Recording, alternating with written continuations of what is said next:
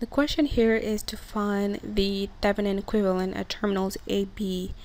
So basically finding the voltage, um, the, the Thevenin voltage and the Thevenin resistance seen from terminals AB over here.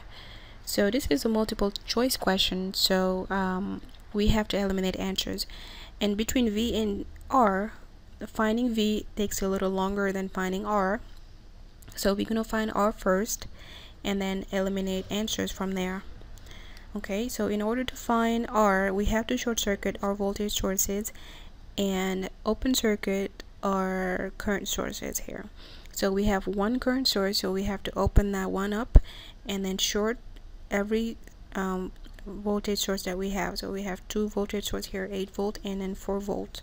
So let's see what our circuit looks like when we do that so we have this shorted and then we have four. And we have open circuit there.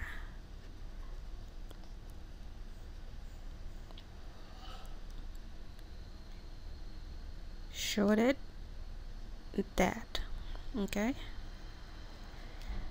So we have two ohm here two ohms here Alright, so if we short circuit 8 volts, this also, the voltage across the 4 ohm is also 8 volts. So if you short circuit the 8 volt, it's almost like shorting, is it is like shorting um, the 4 ohm. So that, that also goes away. So we don't have that anymore. We don't have the 4 ohm anymore. Okay, so that's gone. So what are we left with? We only have two 2 ohm resistors in parallel. So RT would be 2 parallel with 2. So that's 4 over 4 and that's equal to 1. So right away we can um, eliminate this particular um, that answer A and then another one over here. So two answers are gone. So now how do we find um, how do we find VT? VT, to find VT, um, since it's terminal AB over here, we have to put our VT back into the circuit as imaginary. Okay, so we have, let's, let's put it back in the circuit. So if you put it back in, we need to find, we need to apply KVL in order to find that uh, VT.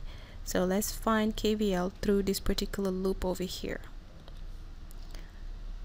Through this loop let's call it loop 1 whatever. So KVL applying that across loop 1 KVL um, let's put a signs here. Mm, so this is minus so minus plus. Have a plus minus. And we have um, plus minus Alright, so applying KVL through this particular loop here, we have if, okay, so we have plus to minus here. Let's start with this voltage source. So plus to minus, so we have minus 4 volts. Plus to minus, we have, let's call this voltage across the 2 ohms. Um, let's call it V2. So plus to minus, we have minus V2. And then minus to plus we have uh, plus VT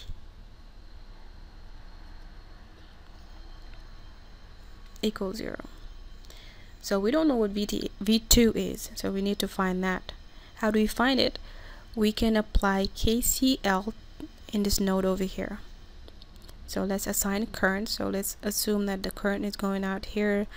Um, current coming in and current coming in here.